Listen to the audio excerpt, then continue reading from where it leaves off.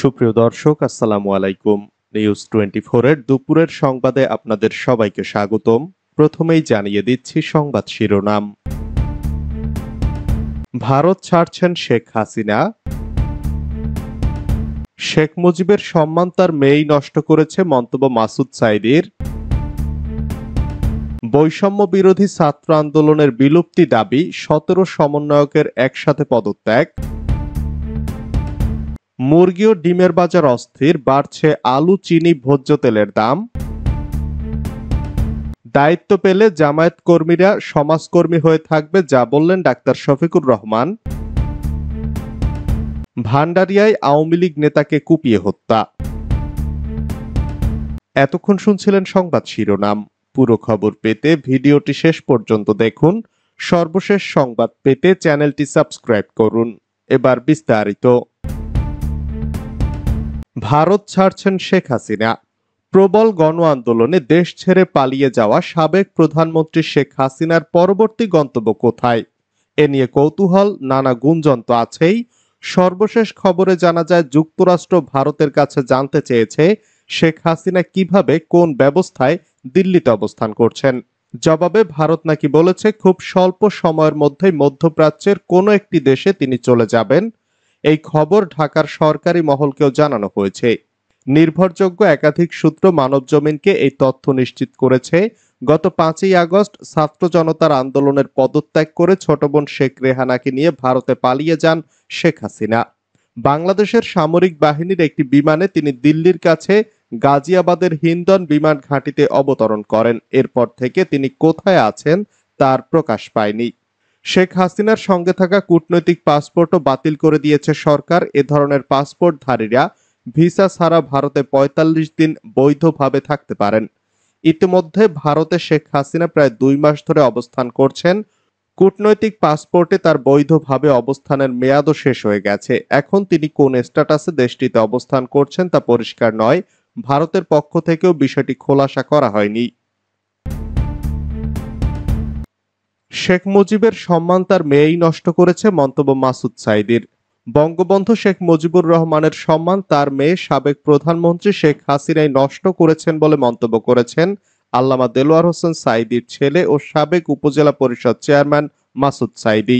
বৃহস্পতিবার বিকালে পিরোজপুরের ইন্দুরকানী উপজেলার কলারন চণ্ডীপুর আদর্শ মাধ্যমিক বিদ্যালয় মাঠে এক জনসভায় তিনি মন্তব্য করেন। মাসুদ সাইদি বলেন, শেখ হাসিনার সরকার ভেবেছিল জামায়াত শিবিরকে নিষিদ্ধ করলে এরা নিশ্চিহ্ন হয়ে যাবে, কিন্তু তারাই আজ বাংলাদেশ থেকে পালিয়ে গেছে। বৈষম্য বিরোধী ছাত্র আন্দোলনের বিলুপ্তি দাবি, সতেরো সমন্বয়কের একযোগে পদত্যাগ। বৈষম্য বিরোধী ছাত্র আন্দোলনের ব্যানারে দ্রুত বিলুপ্তির দাবি জানিয়ে পদত্যাগ করেছেন জাহাঙ্গীরনগর বিশ্ববিদ্যালয়ের তেরো জন সমন্বয়ক ও চারজন সহ সমন্বয়ক আজ বৃহস্পতিবার বিকেল সাড়ে চারটায় ছাত্র শিক্ষক কেন্দ্রের কনফারেন্স কক্ষে আয়োজিত এক সংবাদ সম্মেলনে পদত্যাগের ঘোষণা দেন তারা। এ সময় বৈষম্য বিরোধী ছাত্র আন্দোলনের সমন্বয়কদের বিরুদ্ধে সরকারি দলের মতো আচরণ ও গণ অভ্যুত্থানের স্পিরিট বিরুদ্ধ কাজে যুক্ত থাকার অভিযোগ তোলেন তারা। সংবাদ সম্মেলনে লিখিত বক্তব্যে আব্দুর রশিদ জিতু বলেন, বৈষম্য বিরোধী ছাত্র আন্দোলনের ব্যানারে শুরু হওয়া কোটা সংস্কার আন্দোলন পরবর্তীতে নয় দফার উপর ভিত্তি করে ফেসিবাদ বিরোধী আন্দোলনের রূপ নেয়। তার পরিপ্রেক্ষিতে ফেসিবাদের পতনের মধ্য দিয়ে একটি অন্তর্বর্তীকালীন সরকার গঠিত হয়। তবে নয় দফায় অন্তর্ভুক্ত দলীয় লেজুর ভিত্তিক ছাত্র রাজনীতি নিষিদ্ধ। জুলাই হত্যাকাণ্ডের সঙ্গে জড়িতদের বিচার এবং আহত ও ক্ষতিগ্রস্তদের ক্ষতিপূরণের দাবিগুলোতে বৈষম্য বিরোধী ছাত্র আন্দোলন এক প্রকার নিশ্চুপ রয়েছে। বর্তমানে তাদের ভূমিকা অনেকটা সরকার দলীয় ছাত্র সংগঠনের মতো। এছাড়া বাংলাদেশের সর্বস্তরের আন্দোলনকারীদের একই ব্যানারে অন্তর্ভুক্ত করতে এবং বিভিন্ন বিশ্ববিদ্যালয়ের প্রতিনিধিত্ব নিশ্চিত করতে ব্যর্থ হয়েছেন তারা। ফলে আমরা মনে করি এই ব্যানার এখনও বজায় থাকা আন্দোলনে সর্বপেশার, সর্বস্তরের এবং সর্বদলের মানুষের অংশগ্রহণের ইতিহাসকে ম্লান করে দিচ্ছে। তাই এই ব্যানার যত দ্রুত সম্ভব বিলুপ্ত করে দিতে হবে। মুরগি ও ডিমের বাজার অস্থির, বাড়ছে আলু, চিনি, ভোজ্য তেলের দাম। ফের মুরগি ও ডিমের বাজারে অস্থিরতা দেখা দিয়েছে। অজুহাতে বাড়ানো হয়েছে দাম, পরিস্থিতি এমন যে খুচরা বাজারে এক কেজি ব্রয়লার মুরগি একশো নব্বই টাকায় গিয়ে ঠেকেছে। ডিমের ডজন কিনতে গুনতে হচ্ছে একশো সত্তর থেকে আশি টাকা, যা সপ্তাহের ব্যবধানে দশ টাকা বেশি। এছাড়া বাজারে হুহু করে বাড়ছে ভোজ্য তেল, আলু ও চিনির দাম। সবজি কিনতেও ক্রেতার বাড়তি টাকা গুনতে হচ্ছে। বৃহস্পতিবার রাজধানীর কাউরান বাজার, নয়া বাজার মালিবাগ কাঁচা বাজার সহ একাধিক খুচরা বাজার ঘুরে ক্রেতা ও বিক্রেতাদের সঙ্গে কথা বলে এমন তথ্য জানা গেছে। দায়িত্ব পেলে জামায়াত কর্মীরা সমাজকর্মী হয়ে থাকবে মন্তব্য ডাক্তার শফিকুর রহমানের। বাংলাদেশ জামায়াত ইসলামের আমির ডাক্তার শফিকুর রহমান বলেছেন, রাষ্ট্র পরিচালনায় দায়িত্ব পেলে নিজেদের জনগণের শাসক নয়, সেবক ও খাদেম পরিচয় দেবে জামায়াত ইসলামী। জামায়াত কর্মীরা আজীবন সমাজকর্মী হয়ে থাকবে। গত বুধবার রাজধানীর বক্সিবাজারে কারা কনভেনশন সেন্টারে চকবাজার থানা জামায়াত ইসলামে আয়োজিত কর্মী ও সুধী সমাবেশে প্রধান অতিথির বক্তব্যে এসব কথা বলেন তিনি। জামায়াত ইসলামের আমির বলেন, আওয়ামী লীগ ঘরে ঘরে চাকরি দেবে বলে ঘরে ঘরে মামলা আর লাশ দিয়েছে। জনগণের টাকায় কেন অস্ত্র দিয়ে জনগণকেই হত্যা করেছে আওয়ামী লীগ? বিগত পনেরো বছর দেশের প্রতিটি নাগরিক কোনো না কোনো ভাবে আওয়ামী লীগের জুলুমের শিকার হয়েছে। ভান্ডারিয়ায় আওয়ামী লীগ নেতাকে কুপিয়ে হত্যা। পিরোজপুরের ভান্ডারিয়ায় পূর্ব শত্রুতার জেরে জাফর আলী খান নামে এক আওয়ামী লীগের নেতাকে কুপিয়ে হত্যা করেছে দুর্বৃত্তরা। নিহত জাফর আলী খান ওই গ্রামের মনসুর আলী খানের ছেলে ও কাঠালিয়া উপজেলার আওরাবুনিয়া ইউনিয়নের তিন নং ওয়ার্ড আওয়ামী লীগের সাধারণ সম্পাদক ছিলেন। গত বুধবার রাতে ভান্ডারিয়া উপজেলার উত্তর চরাইল এলাকায় তাকে কুপিয়ে জখম করে দুর্বৃত্তরা।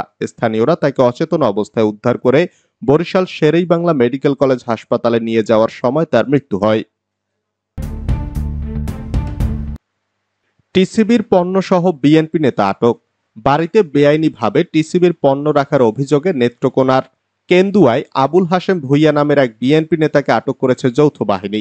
বৃহস্পতিবার সকালে উপজেলার পাইকুরা ইউনিয়নের বাল্লা গ্রামে আবুল হাশেম ভুইয়ার বাড়িতে অভিযান চালিয়ে টিসিবির পণ্য সহ তাকে আটক করা হয়।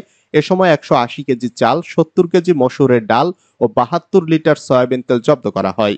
আটক আবুল হাশেম ভুইয়া উপজেলার পাইকুরা ইউনিয়নের বাল্লা গ্রামের বাসিন্দা ও পাইকুরা ইউনিয়ন বিএনপির সভাপতি। বিএনপির সঙ্গে অন্তর্বর্তী সরকারের সংলাপ হবে আগামীকাল। আগামীকাল শনিবার দুপুর আড়াইটায় বিএনপির সঙ্গে অন্তর্বর্তী সরকারের সংলাপ অনুষ্ঠিত হবে। গতকাল বৃহস্পতিবার সন্ধ্যায় উপদেষ্টা পরিষদের বৈঠক, পরবর্তী ফরেন সার্ভিস একাডেমিতে এক সংবাদ সম্মেলনে প্রধান উপদেষ্টার প্রেস সচিব শফিকুল আলম এই তথ্য জানান, দেশের প্রধান রাজনৈতিক দলগুলোর সঙ্গে অন্তর্বর্তী সরকারের সংলাপের প্রথম দিন বিএনপির সঙ্গে সংলাপ হবে বলে তিনি জানান। তিনি বলেন, অন্য রাজনৈতিক দলগুলোর সঙ্গে সংলাপ পরে হবে।